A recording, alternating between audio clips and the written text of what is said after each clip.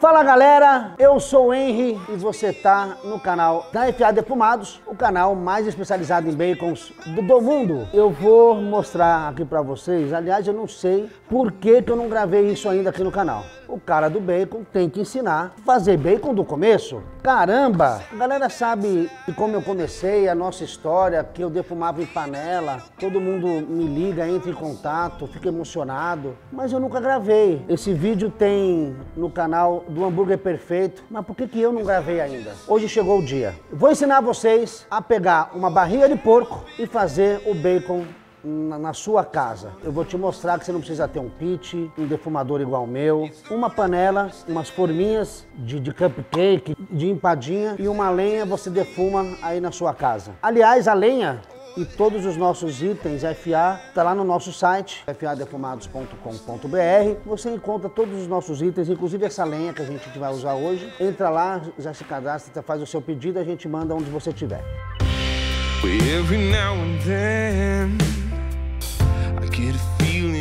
Eu faço bacon com a barriga.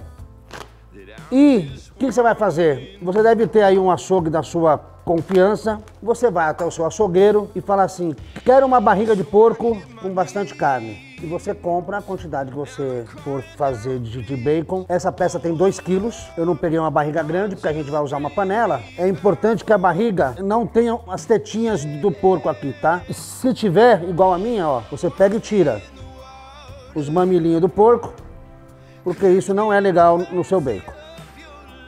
Para fazer a cura dessa carne, eu vou usar duas gramas e meia de sal por quilo de carne, ou seja, em 2 quilos são 5 gramas de sal. E eu vou usar a metade de açúcar. Para 2 quilos, 2 gramas e meia de açúcar. E o que mais? Os temperos que você quiser. O bacon é seu. Eu vou fazer essa com os temperos que eu tinha aqui em casa. Eu vou usar um pouco de canela, um pouco de anis, um pouco de, de, de cardamomo, pimenta calabresa e pimenta do reino. E aqui não tem medida, gente. Você põe o tempero como se você estivesse fazendo um tempero da sua carne do, do dia a dia. Esse aqui é o, é o açúcar, duas gramas e meia, você vai passar, passa na carne, joga por cima, a metade aqui. Eu já vou colocar também um pouco aqui do sal para a gente ir, ir esfregando ela. Metade do sal. Esfrega. Esfrega mesmo, viu gente? Esfrega bastante. Pega mais um pouquinho, ó. Passa na lateral. Um pouco do sal, passa na lateral. Esfrega bem a carne. O lado do couro, ele é uma barreira. A cura acaba não penetrando mas eu sempre gosto de passar também. A forma como eu faço bacon é um pouco diferente da maioria das pessoas.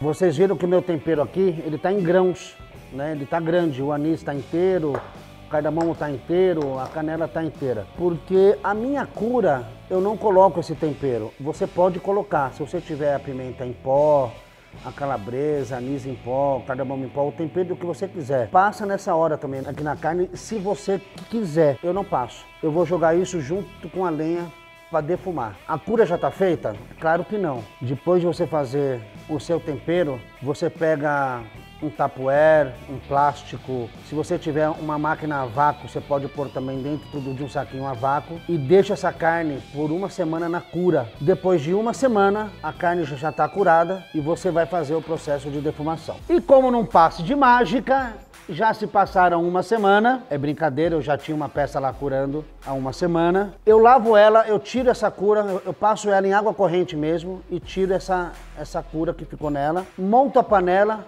e vamos defumar, beleza? Dei uma lavada, pego um papel toalha, tiro o excesso de água. Não é para enxugar, enxugar, enxugar, enxugar, não precisa. Tira só o excesso. Uma panela, aqui foi aonde a gente começou a panela, ó. Isso aqui, quando eu vejo, eu me emociono, porque a minha vida começou aqui, ó. Minha vida com bacon começou exatamente aqui. Aqui dentro a gente vai montar uma estruturinha com essas formas. Eu nunca sei se isso aqui é de cupcake. Não é de empada. De empada é essa aqui, ó. A forma, a forma de cupcake. Mas, como não vai dar para vocês verem aqui dentro, eu vou montar aqui do lado de fora, mas pelo amor de Deus, né? Vocês vão fazer isso do lado de dentro da panela. Pega três forminhas e faz essa estrutura aqui. pega a sua lenha, põe no meio. Aqui você coloca os seus temperos. A hora que você colocou, vem com uma forminha dessa pizza pequenininha aqui, ó, e coloca em cima. O fogo vai esquentar a lenha, a lenha começa a soltar fumaça, e esse aqui é um defletor. A fumaça pega nesse, aqui nessa forma e sai pelas laterais e defuma a peça inteira, entendeu? Qual é a lógica? em cima dessa forma, outras forminhas, essa aqui é de empadinha, e aí você vai pôr a grade, uma grade vazadinha, ó, uma tela vazadinha, e aqui em cima você coloca a sua proteína. Pode ser bacon, pode ser um peixe, pode ser um frango, o que você quiser. Eu vou montar isso agora, aqui do lado certo da panela. As três forminhas, eu já entro com a lenha. Não precisa pôr um pacote de lenha não, tá? Umas 400 gramas de lenha, lenha picadinha, coloca. Não, nem 400, lenha tá leve. Agora, nesse momento, eu coloco as sementes que eu quero usar para defumar. Pimenta calabresa, eu não defumo sem. Adoro. Aqui não tem medida, viu, gente? É quanto você quiser. Canela em pau. Isso vai dar um cheiro aqui no meu quiosque incrível. Um pouco de anis. E eu vou usar a pimenta do reino, que eu não vivo sem nem nas minhas receitas do, do dia a dia. Olha aí, gente. As três forminhas, a lenha e todos os temperos. Então agora eu pego aquela forma de pizza pequenininha, a brotinha, outras forminhas. Gente, é muito fácil. A tela. Coloca seu bacon, com o couro para a parte aqui de cima, ok? Agora vai, eu ponho uma tampa, vai lá pro fogão, em fogo baixo. Esse processo agora leva umas 4 horas. Quando é que você vai ver que seu bacon está pronto? Quando ele ficar bem dourado, ele já está finalizado. É só esperar esfriar e comer. Beleza? Vamos pro fogão.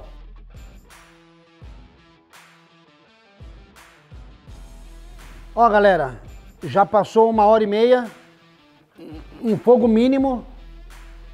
E olha aqui, ele já mudou de cor. Olha a fumaça amarela, olha que linda, que dourada.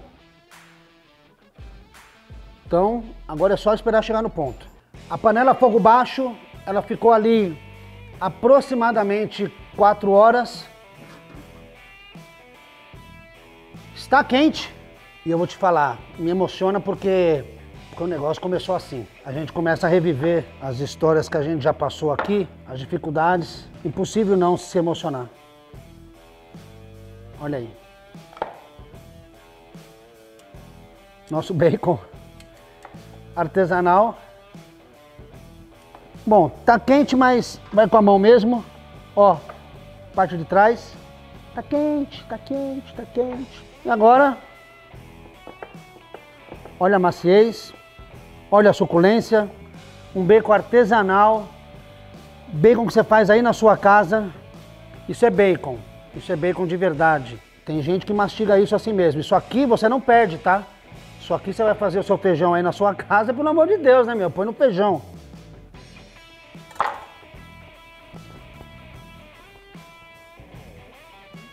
Incrível. Estou muito feliz. Um passatempo que para mim era um hobby, que virou negócio, me emociona, estou completamente emocionado aqui, porque a FA começou assim. Faz e me conta o resultado. Se tiver alguma dúvida, manda pergunta, manda lá no meu direct, lá no Instagram, a gente responde, eu ajudo, eu aconselho. não sou professor, não dou aula, mas o que eu sei, eu passo para os outros. Se gostou, curte aí embaixo, se inscreve no canal. Um beijo, fique com Deus, até semana que vem.